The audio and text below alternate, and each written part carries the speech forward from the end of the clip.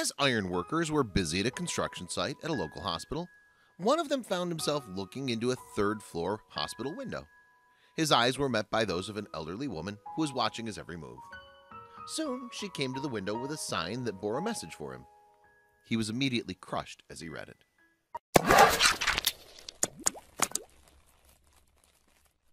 Before we begin, make sure to smash that like button, subscribe to our channel, and click the notification bell for more amazing videos.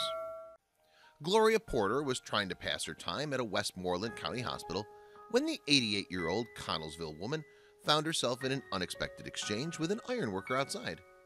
Gloria had been hospitalized for a week at Excela Frick Hospital in Mount Pleasant, Pennsylvania. And it just so happened that union ironworkers from Century Steel Erector were constructing the new front entrance to the hospital at the same time. The job was part of a $14 million renovation project at the hospital. According to WTAE, and it gave Gloria something to do as she tried to get better. From her third floor hospital room, she watched the workers. But it wasn't always a pleasant form of entertainment. In fact, one chilly, windy Wednesday afternoon during her hospitalization, Gloria found herself increasingly nervous as she watched the workers outside. As Gloria was peering out her hospital window, she noticed one of the men was looking back at her. Ironworker Jeff Reick had just looked in the woman's hospital window, locking eyes with her as she watched the worker's every move. Knowing he was spotted, Jeff waved at the woman who'd been watching him. This one guy looked over at us and waved, so we waved back, Gloria recalled. But their exchange was far from over. To Gloria's shock, Jeff then used a piece of chalk to scrawl a two-word message on one of the steel beams for the woman. I looked down on the beam and he had written, Get well, Gloria said, revealing Jeff's message to her. The message touched her deeply, but Jeff didn't think much of the small gesture at the time. I saw the lady at the window looking out. I thought it would be a kind gesture just to tell her to get well, the ironworker said. I didn't think much of it. I just tried to make someone feel a little better. It worked. Gloria thought the message was precious, but she was still concerned about the safety of the men working outside. That's when she decided to send her own message.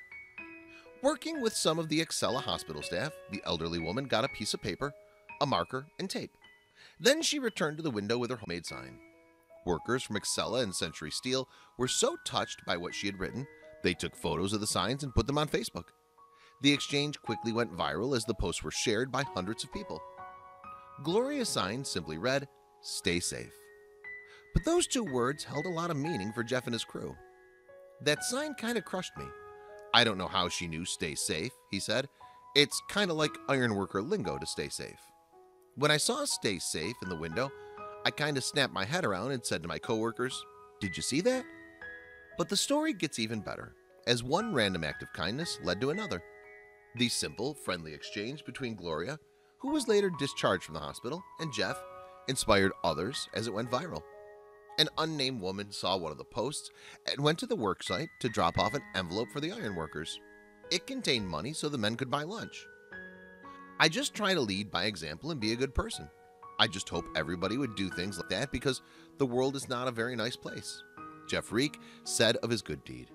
But with people like Jeff and Gloria among us, the world is a better place. They remind us that it's the smallest acts that can make the biggest impact in ways we never imagined. Jeff only aimed to bring a smile to one woman's face that day, but the two of them touched hearts everywhere. And all it took was a couple of nice words and a friendly exchange to change our outlook on the world for a brief moment.